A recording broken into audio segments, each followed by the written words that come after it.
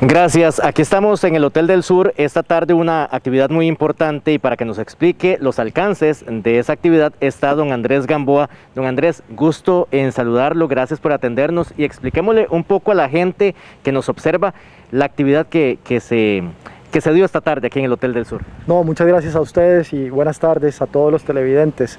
El día de hoy veníamos a presentarles a los empresarios de la zona sur y a la Cámara de Comercio de la zona sur sobre esta nueva organización enfocada en el mercado más dinámico y próspero del mundo que es Asia-Pacífico y esas 21 economías que cada vez crecen más y que tienen enormes oportunidades de negocios para los empresarios de la zona sur en materia de importaciones, exportaciones, inversiones, turismo, educación educación, innovación y tecnología.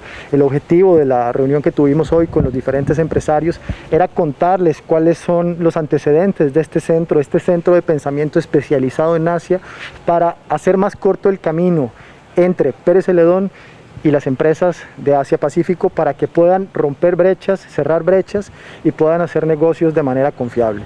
Don Andrés, la participación, ¿qué tal? ¿Quedan satisfechos con los empresarios eh, en esta reunión? Sumamente contentos del compromiso, del interés de los empresarios de la zona sur. Recibimos más de 30 empresarios interesados en conocer de esta nueva herramienta.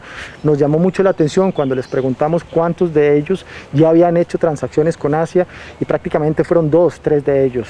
Entonces esto nos dice mucho los grandes desafíos que tenemos, pero también las grandes oportunidades para capitalizar y que los empresarios tengan acceso a productos más competitivos provenientes de este lado del mundo. Don Andrés, se hace esta mm, primera exposición, ¿qué viene ahora? Bueno, no, la idea es dar seguimiento, ahorita estamos reunidos con los diferentes empresarios para conocer cuáles son sus necesidades, sus intereses, nosotros queremos darles un servicio a la medida, queremos que nos acompañen y muy apalancados con la representación que tenemos aquí en la zona sur y también con la Cámara de Comercio. Muy bien, gracias a don Andrés Gamboa que nos explicó muy bien esta actividad, esta reunión y ojalá que los alcances comiencen a ser bastantes de ahora en adelante en pro también de la región Brunca de Costa Rica. Retornamos al estudio central.